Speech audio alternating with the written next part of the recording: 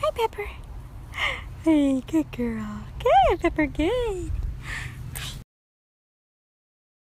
Hi, everybody. Just wanting to um, send prayers and love to everybody dealing with the aftermath of the flood in Louisiana. I was talking to the Red Cross today. And if you go on redcross.org, you can send money straight to survivors of the flood and help them out, which is what I did today.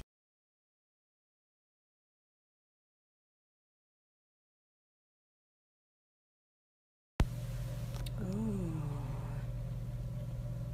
Oh my gosh, I'm so excited. I gotta try this.